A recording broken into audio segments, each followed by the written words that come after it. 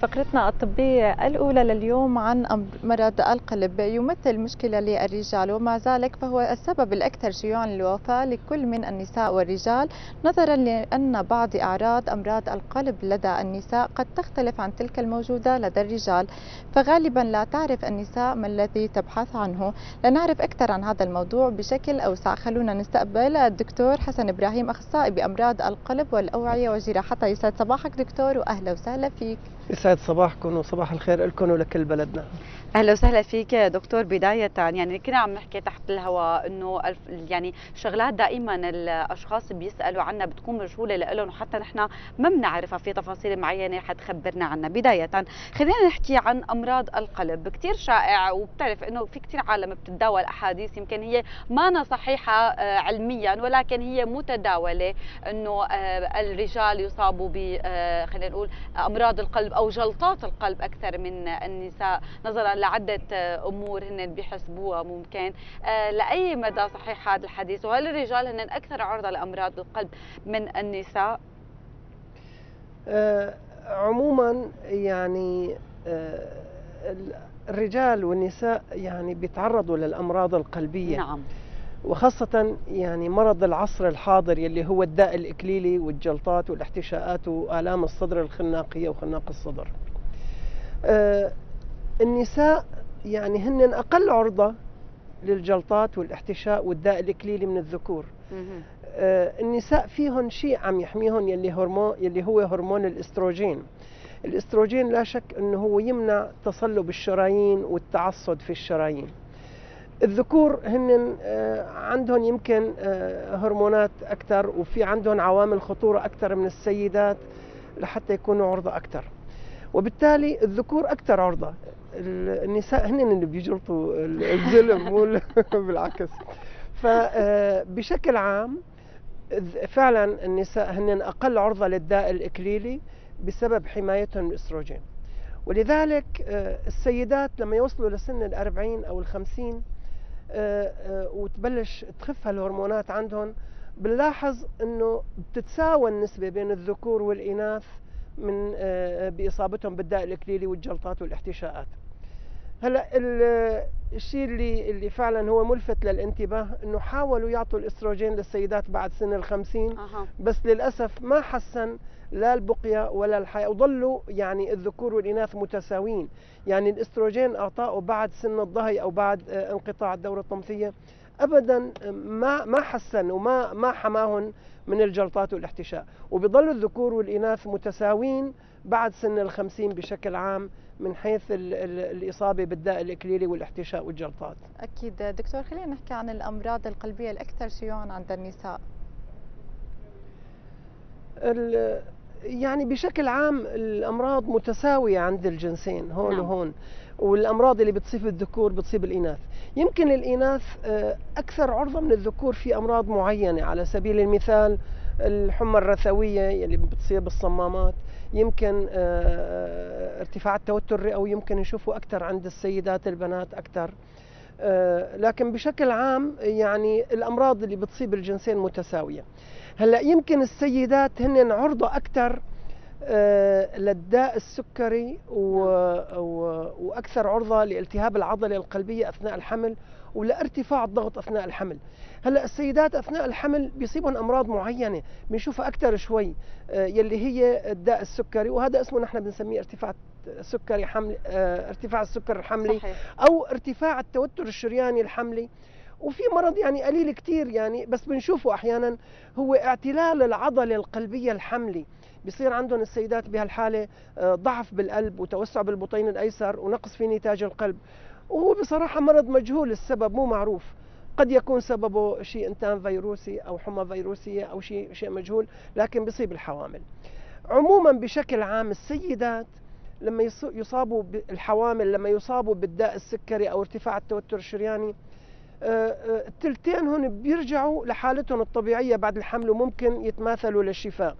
وقلة قليلة ممكن يستمر ارتفاع الضغط وممكن يستمر الداء السكري عندهم بعد الحمل. نعم. يعني عدة أسباب يمكن آه، ممكن تؤدي لهذا الشيء. ولكن خلينا نحن نحكي على الأسباب أو فينا نقول الوراثية. آه، يعني هل الوراثة لها دور أيضا بأمراض القلب عند النساء سواء أو عند الرجال؟ آه، بشكل عام يعني الوراثه بتلعب دور مثلا زيادة الكوليسترول بالدم يلي بيؤدي إلى تصلب الشرايين آه، في حال عدم اتباع حمية معينة أو أخذ دواء آه، يمكن بيوصفه الطبيب أو توصفوه أنتم لأي مريض بحسب حالته هل للوراثه دور؟ أمراض القلب الإكليلية وتضيق الشرايين والجلطات لها علاقة بعدة عوامل نحن عادة بنسميها عوامل الخطورة نعم شو هن هالعوامل هدول؟ عند الذكور وعند الإناث. آه، التدخين على رأسهم. التدخين واحد من أهم الأسباب يلي بتزيد خطورة أمراض القلب. من بينهم ارتفاع الكوليسترول وخاصة في عنا نوع من أنواع الكوليسترول يلي هو ال LDL الكوليسترول أو الكوليسترول يلي ذرته صغيرة. نعم. كل ما ارتفع هالكوليسترول هذا بيزيد لنا عوامل الخطورة والداء الإكليلي. على العكس في كوليسترول مفيد يلي هو ذرته كبيرة. من بين هالعوامل ارتفاع التوتر الشرياني والداء السكري. ولا شك أنه الوراثة تلعب دور نعم. بالموضوع نعم. نعم. فالوراثة تلعب دور في أمراض القلب عند الجنسين عند الذكور وعند الإناث نعم. أنا بريد نبه بس لشغلة صغيرة يلي هي التدخين قبل ما كانوا السيدات متساوين مع الذكور في الداء الإكليلي وأمراض القلب كانوا السيدات أقل ارتفعت نسبة التدخين عند السيدات بشكل واضح فصارت عم تتقارب نسب الداء الإكليلي بين الذكور والإناث. فشة الخلق. طبعا. هلأ ابدا الدخان مو هو وسيلة لفشة الخلق. نعم. ابدا ما هي مبرر لأنه الواحد يدخن. الإنسان آه، آه، الحياة معروف إنه هي كلياتها يعني تعب. الإنسان بيضل تعبان من أول ما آه، يخلق لحتى يموت. فالحياة هي بالأساس هي حياة تعب. أنا ما بروح عن نفسي أو بفش خلقي أو آه، آه، يعني أهرب من ظروفي القاسية لأنه أدخن. ابدا ما هي. آه، أو يعني أشرب حشيش أو شغلات ثانية. ابدا ابدا. أكيد نعم, نعم. دكتور. رب العالمين خلق للإنسان عقل يقدر يدرك تمام إنه الدخان هو شغلة بتسم خلي خلايا جسمه من أعلى رأسه لأخمص قدمه. ولذلك يجب الوقاية والابتعاد قدر المستطاع عن التدخين. حتى التدخين السلبي للأسف هو له تأثير سيء. إذا ارتفاع التدخين عم يساوي بين الذكور والإناث من حيث الإصابة بالداء. قلة النشاط والخمول اللي هلأ كمان منتشره يعني ما حدا عم بيمشي وما حدا عم يستخدم الدرج ما حدا عم يستعمل هالأشياء كمان ابدا. وخلينا نحكي هلأ بهالفترة بهالظروف الصعبة اللي عم نقضيها في كمان كثير آه، كآبة في آه، في يعني توتر عند الرجال والسيدات. قديش هذا الشيء بيأثر على أمراض القلب؟ أه، النشاط الفيزيائي له دور كبير في الوقاية من أمراض القلب. السيدات يمكن هن آه، أقل حركة من الذكور دائما تمام. آه، بيقعدوا بالبيت عملهم هيك مريح آه، جلي وشطف وما فيها الجهد وما فيها الحركة والمشي. هذا بيخليهم يأكلوا أكثر وبالتالي يزيد وزنهم أكثر وبيخليهم ما يتحركوا. هدول السيدات نحن فينا ننصحهم دائما ببرنامج المشي ب يعني الإقلال من تناول الدهون والدسم المشبعه والحلويات والنشويات والمربيات لحتى يحافظوا على لياقة بدنية ولحتى يحافظوا على جسم رشيق ولحتى يحموا حالهم من أمراض القلب. وبشكل عام الذكور والإناث كلاهما آه، يستفيد من الرياضة والمشي. ومعروف عالميا إنه مشي نصف ساعة يوميا آه، آه، يقي بشكل واضح من أمراض القلب ومن أمراض الداء الإكليلي والجلطات. ولذلك أنا بنصح الذكور والإناث على حد سواء بالرياضة والمشي. وقلة الحركة هي أحد عوامل الخطورة المهمة. إضافة للبدانة طبعا. نعم يعني كمان يمكن الرياضة هي ممكن تنشط الدورة الدموية وممكن تجدد أي خلية من خلايا الدم. أيضا آه، دكتور خلينا نسأل سؤال وأيضا متداول بين الكتار أنه هل السمنة علاقة بأمراض القلب أو تجلطات القلب إذا كان الإنسان بدين نوعا ما أو عنده وزن زائد عن الحد يعني فوق الحد الطبيعي؟ هل هي من العوامل المؤثرة على حدوث الجلطات وأمراض القلب؟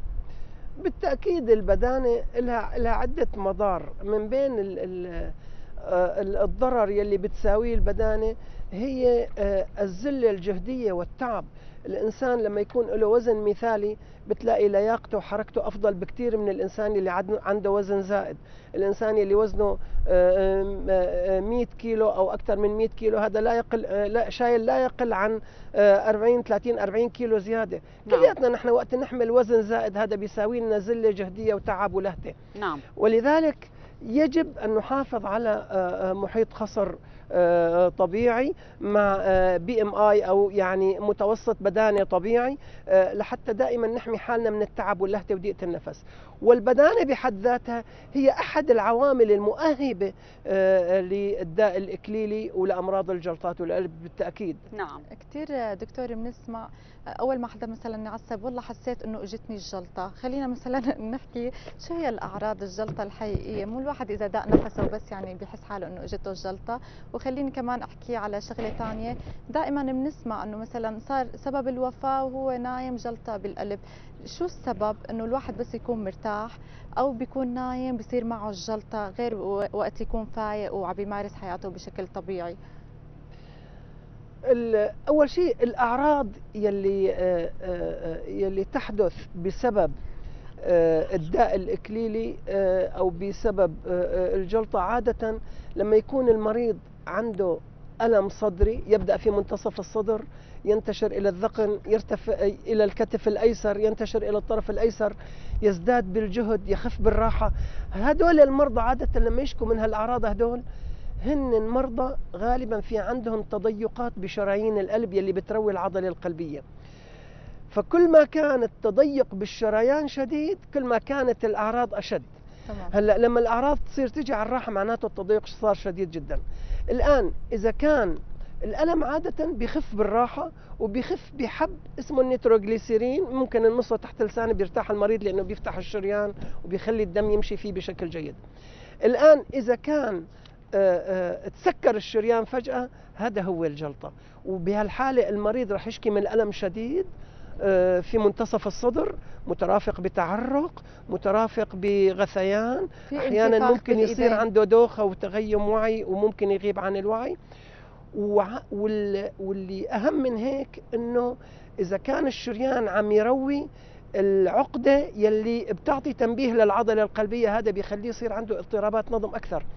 وعادة الإنسان بيموت بسبب اضطرابات النظم بسبب الرجفان البطيني لأنه في شريان من الشرايين هدول بيغذي العضلة اللي بتعطي نظم للقلب. فإذا كان تسكر هالشريان هي بتصير ال ال بتصير خربطة. صحيح. فأسوأ اضطرابات النظم اللي هو الرجفان البطيني. فجأة الإنسان بيغيب عن الوعي وبيموت. هلأ إذا كان الإنسان موجود بعناية مشددة أو قريب في مركز إسعاف ممكن إنعاشه بصدمة كهرباء يرجع قلبه طبيعي. لكن المشكلة إذا كان هو بالبيت أو إذا كان نايم وصار عنده اضطراب النظم أثناء تسكير الشريان طبعا راح تكون يعني النهايه آه، بشكل عام كل المرضى اللي عندهم آلام خناقية لازم نحن ننصحهم يراجعوا الطبيب لحتى يتقيم وضعهم بشكل جيد وإذا في عندهم شريان متضيق نحاول نفتحه لكن لما يصير الاحتشاء ويسكر الشريان هدول يجب نقلهم إلى أقرب مركز إسعاف لحتى نحافظ على حياتهم نعم. معظم هدول المرضى أو قسم كبير مو قليل منهم ممكن يموتوا على الطريق أو بسيارة الإسعاف أو ممكن يموتوا بالبيت بسبب اضطرابات النظم.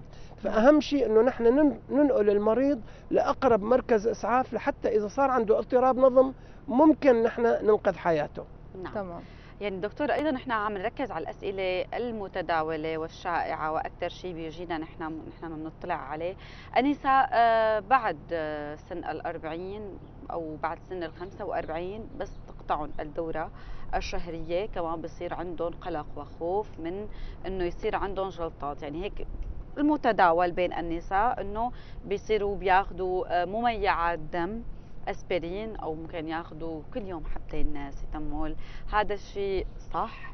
وهل آه، فينا نطمن النساء إنه آه، لا ما ما مرتبط هذا الشيء بهذا الشيء اولا السيدات بعد سن الأربعين يعني هن بيصير عندهم داء إكليلي واحتشاءات وخناق صدر مثل الذكور تماما وراح مفعول الإستروجين.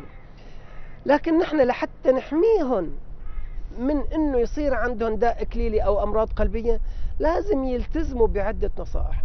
من بين النصائح اللي عم نحكيها قبل شوي هي المحافظة على وزن مثالي.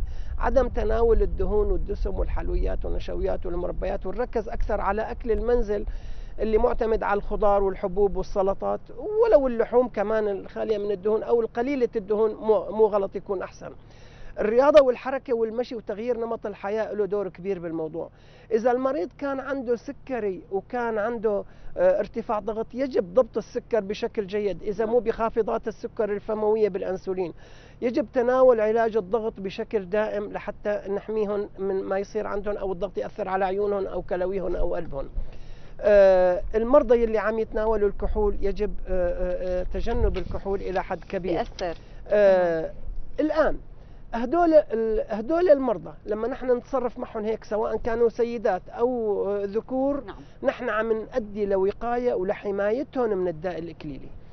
الآن إعطاء الأسبرين أنا بريد نوه على هذا الموضوع اللي هو مهم, مهم كثير إعطاء الأسبرين بشكل روتيني لكل الناس اللي فوق ال 40 أو فوق ال 50 سنة هو خاطئ والأسبرين له تأثيرات جانبية غير مرغوبة ممكن يساوي لنا زيادة في حساسية القصبات ممكن يساوي لنا التهاب معدة دوائي وقرحات وأحيانا نزوف وأحيانا بنشوف ناس صار عندهم نزف دماغي نتيجة إعطاء الأسبرين. الناس اللي فوق ال 40 وفوق ال 50 هن الناس عاديين يعيشوا حياتهم طبيعية إذا ما عندهم أي مشاكل هن مو معرضين لأمراض القلب ابدا ونحن ما بنعطي الأسبرين للوقاية من فوق ال 40 أو فوق ال 50 لمين ممكن نحن نعطي الأسبرين؟ للناس يلي عندهم عوامل خطورة. الأسبرين يعطى لكل الناس يلي صار عندهم خذل شقي أو تهديد باحتشاء دماغي. نعم. للناس يلي عندهم تضيقات بالشرايين سواء بالقدمين أو بالقلب. للناس يلي عندهم عوامل خطورة مرتفعه مرتفعة وهن مؤهبين ليصير عندهم احتشاءات. هدول الناس اللي بنعطيهم أسبرين. إذا أعطاء الأسبرين بشكل روتيني لكل الناس اللي فوق ال 40 وفوق ال 50 هذا بدراسات موثقة أثبت إنه أضراره أكثر من فوائده ولذلك يجب تجنبه. أكيد دكتور خلينا نحكي معقول حدا يصير معه مثلا نوبه آه، قلبية ومن غير ما يحس ألم بالصدر يعني يصير معه جلطة من غير ما يحس مثلا معه إنه ألم بصدره شو رأيك؟ هذا الكلام وارد كثير ممكن نحن أحيانا المرضى يصير عندهم احتشاء عضله قلبية آه، بدون ما يشكوا من أعراض وهدول المرضى لهم تيب معين. على سبيل المثال منهم السيدات السيدات بيصير عندهم أعراض يعني مو مثل الذكور. الألم اللي بيصير عند الذكور ألم صريح واضح في منتصف الصدر ينتشر للذقن. السيدات أحيانا بيحسوا بضيقه نفس ممكن يحسوا بألم بالكتفين ممكن يحسوا بأعراض يعني مخالفة أو مغايرة تقريبا إلى حد ما إلى حد ما مو دائما عن الذكور. لكن في ناس الكبار بالعمر عادة أو المرضى اللي عندهم أمراض مدنفة مثل السرطانات والأورام أو المرضى السكريين المرضى السكريين أحيانا نتيجة اعتلال الأعصاب الذاتي ممكن يصير عندهم جلطات بدون ما يحسوا بألم أو تعرق أو ألم بالصدر أو أو حتى بآلام خناقية. وممكن يصير عندهم احتشاء كبير ويعني يودي بحياتهم فجأة بدون ما يشكوا من أي أعراض. ولذلك في عندنا قسم من الأمراض ممكن قسم من المرضى ممكن يصير عندهم جلطات واحتشاءات وخناق صدر أو آلام صدر بدون آلام صدرية بدون أعراض بدون أعراض. تمام. نعم. يعني عدة آه، خلينا نقول عوامل وعدة مواضيع ممكن آخر شيء تؤدي لنتيجة واحدة وهي جلطات القلب. لا سمح الله الله لا يعرض حدا لأي جلطة ويحمي الجميع. ولكن في إجراءات معينة وتعليمات معينة دائما الطبيب بينصح فيها لعدم خلينا نقول وصول الشخص لآخر هالمرحلة يعني. آه، يمكن الفحص الدوري أو تخطيط القلب كل فترة هو مهم لكثير من الأشخاص. آه، في أشخاص ما بتراجع على الطبيب ومثل ما ذكرنا هي بتعتمد على الاجتهاد الشخصي بأخذ أي دواء ما يكون نافع. قديش مهم زيارة طبيب القلبية؟ آه، مو بس للمريض وأيضا للإنسان اللي ما عم بيعاني شيء. أنا يعني نوهت شوي لحتى نحمي هدول الناس أو نحمي الناس بشكل عام. من الأمراض هو اتباع آه، الطرق يلي تحمينا من أمراض القلب يلي إن فيها تجنب التدخين وتجنب المشروبات الكحولية والرياضة والمشي نعم. والدهون هدول.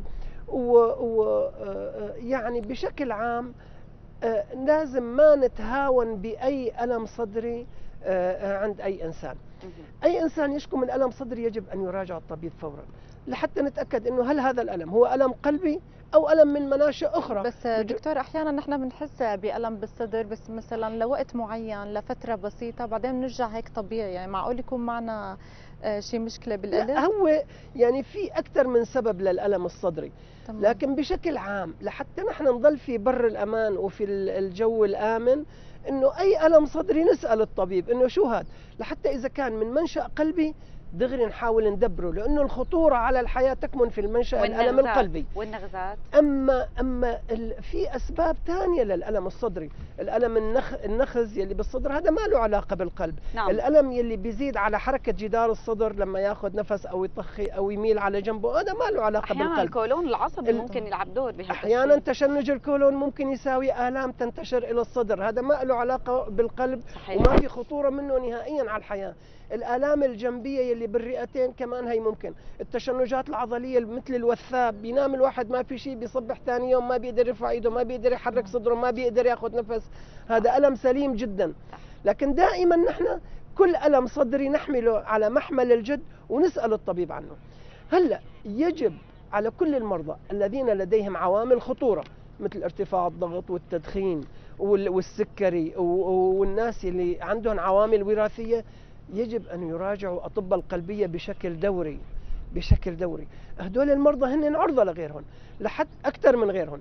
الناس العاديين اللي ما عندهم أي مشاكل حبوا يراجعوا الطبيب مو غلط يكون أفضل. ما بدهم يراجعوا الطبيب ما في أي مشكلة. بشرط أنه إذا في أي شكوى يراجعوا الطبيب. لكن المرضى اللي هن مؤهبين أكثر من غيرهم يجب مراجعة الطبيب دائما وبشكل دوري لكشف المرض نعم. في بدايته ومحاولة أكيد. تدبيره قبل ما آه، آه، الإنسان يمر بأزمة قلبية. الأزمة القلبية أحيانا لما تحدث ممكن تكون قاتلة للإنسان. أكيد دكتور بنتمنى الصحة والسلامة للجميع وشكرا لك شكرا على نصائحك القيمة ونشوفك بحلقات قادمة. شكرا لك دكتور. شكرا كثير لكم شكرا لك دكتور ومثل ما قالت سمر السلامة للجميع. إن شاء الله ما حدا بيتعرض لأزمات قلبية خاصة يعني بهالظروف اللي نحن عم نعيشها شوي صعبة. شكرا لوجودك معنا وعلى المعلومات اللي